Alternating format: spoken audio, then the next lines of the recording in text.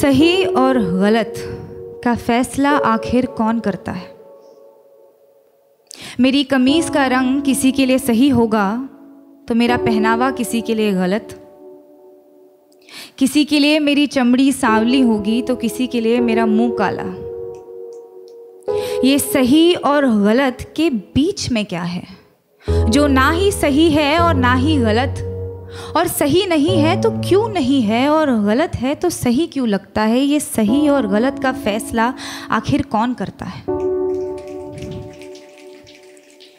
किसी को ख्यालों में बसाना सही है क्या? अगर बाहों में कोई और हो? और जो बाहों में है वो सही नहीं तो जो ख्यालों में है वो गलत कैसे? है अगर आपका दिल किसी को बार बार पुकारे, जिसे पुकारना नापाक हो तो क्या ये गलत होगा? कि वो सामने आ जाए तो उसे अनदेखा करना नागवार हो। और वो सामने है तो क्यों है? क्या उसे पल भर के लिए देख लेना भी सही नहीं? और गलत है तो सही क्या है? ये सही और गलत का फैसला आखिर कौन करता है? अगर चोरी करने की सज़ा मिलती है तो दिल दुखाने की सज़ा भी तो मिलनी चाहिए। अगर अदालतों में घर तोड़ने की सुनवाई की जाती है तो घर तबाह करने की सज़ा भी तो मिलनी चाहिए। अगर अपने जेबों को पैसों से भरना गलत है तो किसी एक इंसान को देवता जैसे पूजना सही है क्या? अगर सियासत के नाम पर जंग करवाना सही है तो देश बेचने वालों को गलत कहना गलत क्यों? और अगर धर्म के नाम पर बंटवारा करवाना सही है तो आज़ादी के नाम पर नारे लगाना गलत क्यों?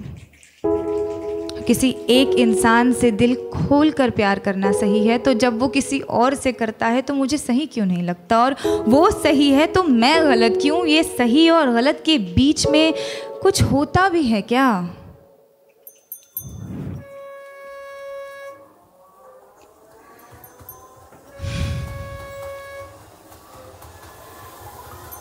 जब रात की लोकल धीमे कदमों से अंधेरी स्टेशन पर आती हैं तो सारी औरतें उस पर लपक जाती हैं।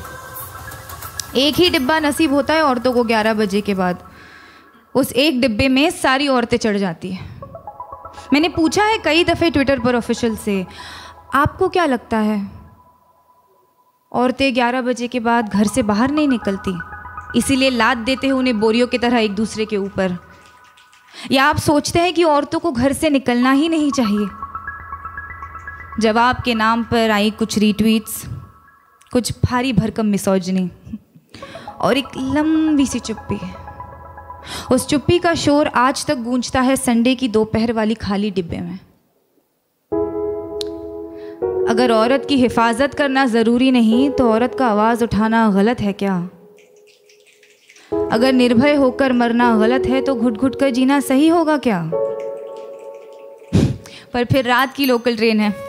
तो अपने साथ ढेर सारा समय लाती है। तो एक हाथ यहाँ, एक टांग वहाँ टिकाकर सपने देखने का वक्त मिल ही जाता है। क्योंकि क्या है ना, सपनों के तो पर होते हैं। आप खुद को चाहे जितना जकड़ ले, सपने तो आज़ाद है। होठों पर उसके होठों का सपना देखना गलत है क्या? बीच रात उसके छुअन की वाहिमा करना सही क्यों नहीं? अगर किसी एक इंसान से तमाम उम्र प्यार करना सही है तो अमृता का प्यार साहिर के लिए गलत था। और अगर किसी एक इंसान के आरज़ू में तड़पना गलत है तो इमरोज का प्यार अमृता के लिए गलत था क्या? अगर खुदगर्जी प्यार को ख़त्म करती है तो उसे पैदा क्या करता है? अगर ये दुनिया दुनिया वालों के हिसाब से चलती है तो हर रोज़ एक मजनू क्यों मरता है?